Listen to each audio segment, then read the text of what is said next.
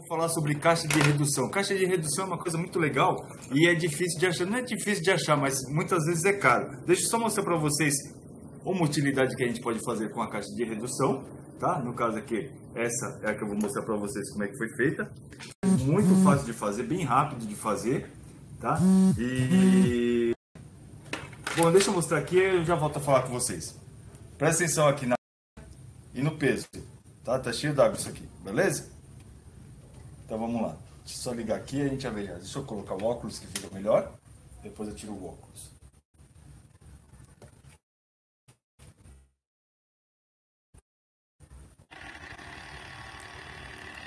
Então, esse, uma caixa de redução ela pode ser feita assim em vários projetos, tá? Pequenos projetos, grandes projetos, enfim. Nesse caso aqui é só para vocês terem uma ideia da força que isso aqui tem. Eu vou levantar um litro de água aqui.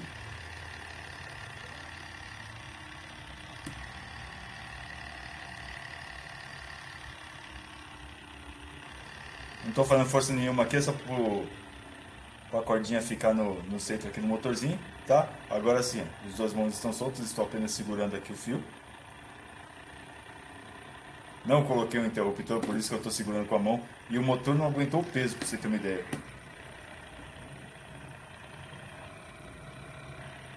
A estrutura que eu fiz não aguentou o peso. Mas o motor ele puxa a garrafa cheia d'água.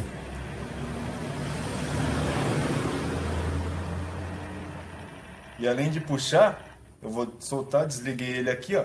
Ele mantém lá em cima. Tá vendo? Ou seja, é, além de ter força, ele não volta para trás com o peso.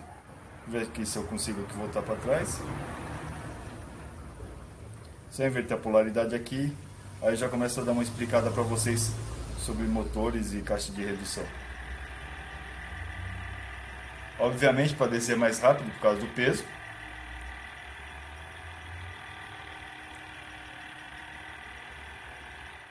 Bom, vamos lá o que interessa. Eu vou fazer então, é, trocar uma ideia de como eu fiz aquilo ali, tá? Uma coisa fácil para a gente fazer, tá? E barato, né? Já que esse aqui a gente vai pagar em torno de 50 reais e ele tem uma boa força. Com isso aqui, que é a dica que eu vou dar para vocês, isso aqui é um motor de prato de micro-ondas, tá? Isso aqui você encontra na sucata, tá? Se os caras cobrarem 5 reais, eles vão cobrar caro, tá? A partir do momento que você acha isso aqui na loja por sete reais, tá? Aqui em São Paulo, então é, é paga mais que isso pela internet fica muito caro, tá? Então isso aqui na loja, esse aqui para você ter uma ideia, eu paguei foi 6,80 acho, ou 6,80 ou 7,20, não lembro agora, tá? Motor de microondas. Obviamente eu não vou fazer com esse aqui porque esse aqui ele tá novinho, tá funcionando. Eu vou usar um outro motor que é igual, porém porém esse aqui está queimado, tá? E como é que a gente vai fazer? Eu vou furar, furar, desculpa. Antes de furar, eu vou abrir isso aqui. E o que a gente vai precisar? A gente vai precisar de uma ferramenta, no caso aqui eu vou usar uma chave de fenda, fenda, que eu vou soltar esses pininhos aqui, ó. O motor de, de microondas ele tem quatro travinhas, tá? Tem uma parte mais baixa aqui e tem quatro travinhas, uma, duas, ó, uma, nossa, é ruim de mostrar assim, uma, duas, três, quatro. Tá, então vou soltar esses aqui. E aí a gente vai precisar mais para frente, né, o motor. O motor é fácil de arrumar também, isso aqui você consegue em impressora velha, tudo coisa do cato você consegue arrumar isso aqui também, tá? Carrinho, brinquedo, velho que tem motorzinho ou qualquer outra coisa que tenha motorzinho. Nesse caso aqui eu estou usando um motor que o eixo dele é de 2 milímetros, tá? Eu tenho uma broquinha de 2 milímetros, então vou fazer o furo a hora que eu precisar, vou fazer o furo de 2 milímetros e vai encaixar perfeitamente. Vou usar também para o nosso trabalho cola instantânea e um pouco de do Repops. Tá? E vamos lá, vamos começar porque é bem facinho de fazer, não é difícil. Então eu vou comer, deixa eu abaixar mais aqui para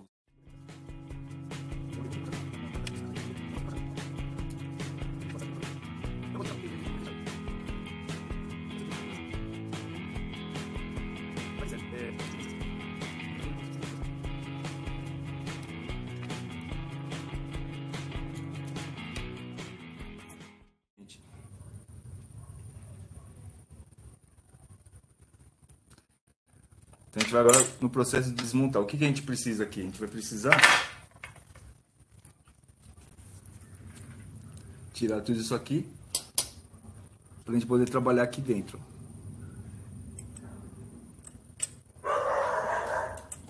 Deixa mais ou menos do jeito que é a posição aqui.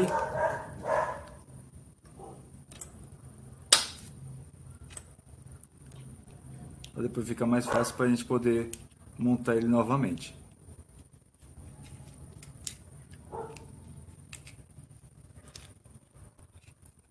Essa camada aqui de ferro, ele protege também. Só você levantar ela. É tudo encaixe isso aqui.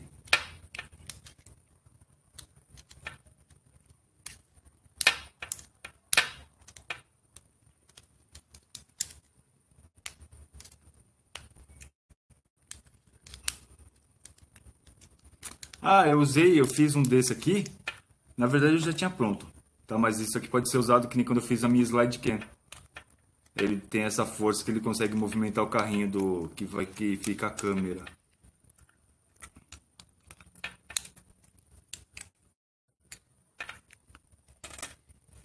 Isso aqui é a parte que interessa pra gente, tá? Esse meio aqui, porque é aqui que a gente vai colocar o nosso motor que vai girar essa engrenagem que faz todo o outro conjunto funcionar.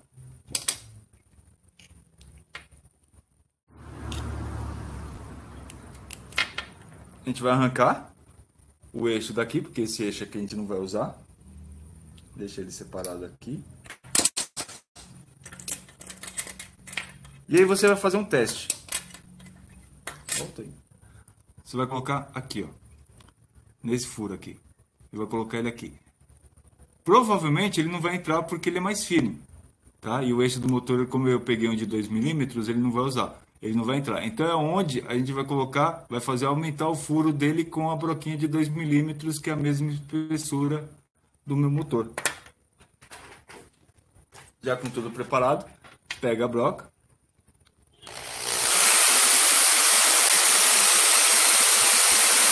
Não precisa atravessar ele todo. Fez esse furo, já aproveita e já faz o furo aqui também, ó, no fundo, porque o motorzinho ele vai entrar por baixo, tá?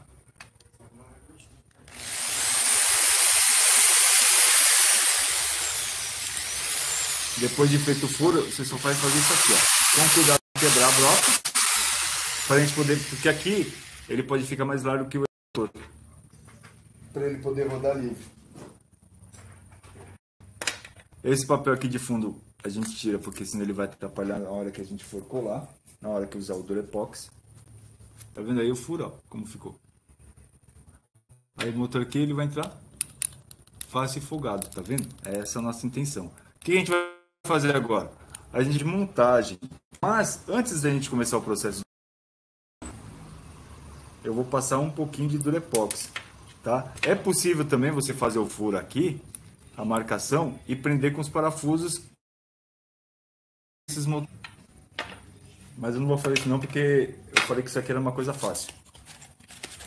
Certo? Então eu vou pegar um pouquinho de Durepox. Coisa rápida, não é muito, é pouca coisa mesmo. Eu vou usar muito, mas é daqui a pouquinho, tá? Por enquanto. Muito bem, de volta aqui, já que reconectou. Eu só centralizar um pouquinho aqui. Então, ó, um pouquinho de Durepox que a gente tá? Daqui a pouco a gente vai usar mais. O que, que a gente vai colocar aqui, ó? Nesse caso aqui eu estou colocando fora dos furinhos do parafuso e tem que tomar cuidado para não pegar lá no eixo, tá? Só isso.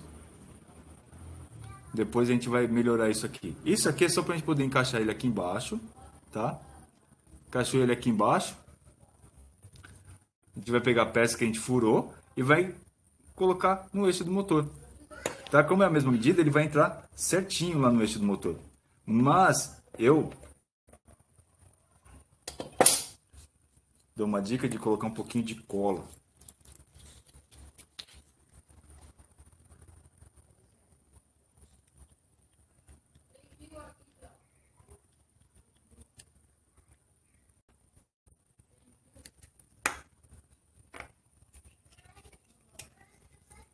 Coloca um pouquinho de cola aqui, vai fazer só uma forcinha aqui para poder encaixar.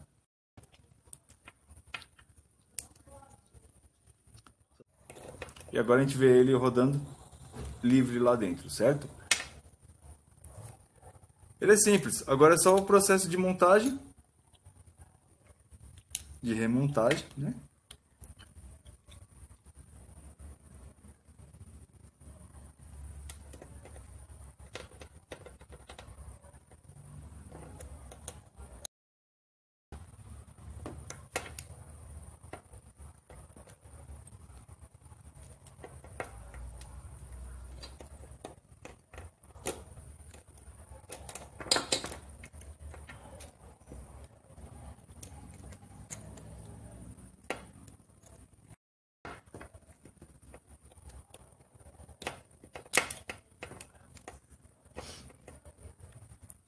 Falar pra você, fica, o negócio é fácil, cara, mas na hora que a gente tá gravando,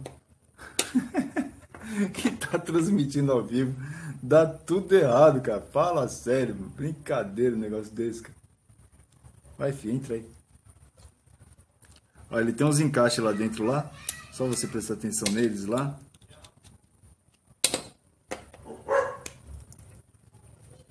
Encaixou já é. Ele tá bambeando assim, mas a gente já vai resolver isso já já com o Durepox. Aí depois de feito isso, a gente engrenagens.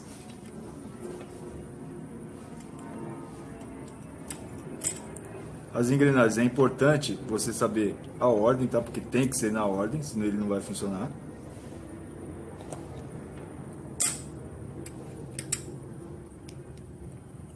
E agora eu vou ligar se ele está funcionando. É óbvio que vai balançar tudo aqui, ó. Porque tá sem a tampinha de fora, tá? Mas é só para você ver que já está funcionando, tá vendo? Agora eu vou colocar a tampinha nele, arrumar a parte de baixo e tá pronto o motor.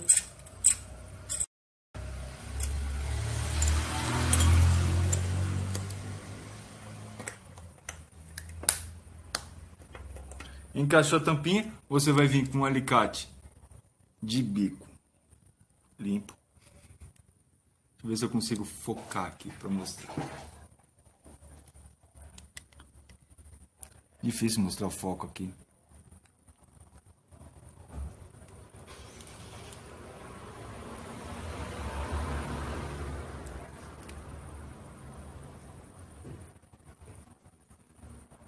Se você não conseguir assim, você coloca em algum lugar, apoia ele assim para poder dar umas batidinhas, tá? Com algum objeto, por exemplo. Você vem assim e dá umas batidinhas, beleza? Aí agora, para fixar o nosso motor aqui para ele ficar bem legalzinho, o Durepox, se for pouco, aquilo lá você pode fazer mais, tá? Pode encher isso aqui de Durepox. Que nem eu fiz no outro. O importante é a hora que você colocar ele aqui, certificar de que ele está bem centralizado. Ele estando bem centralizado, está pronto. O motor força. Está pronto.